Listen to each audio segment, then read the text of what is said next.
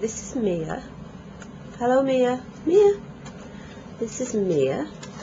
Um, this little beauty is a very delicate little flower.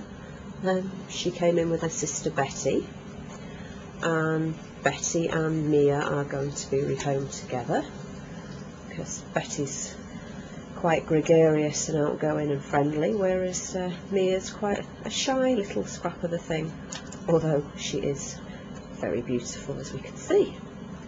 Um, but she doesn't seem to do a whole lot other than sit around by the radiator and uh, sleep.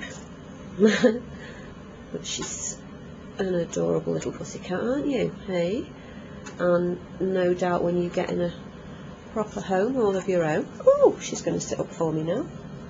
Um, you'll come out of your shell a little bit, won't you? Hey? With your sister to help you. Let's face it, your sister is not backward at coming forward. okay.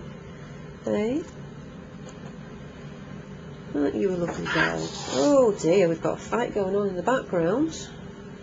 Um, shall we go and find Betty now, eh? So that everyone can see what Betty looks like. Hey, good girl. Good girl, Mia. Good girl.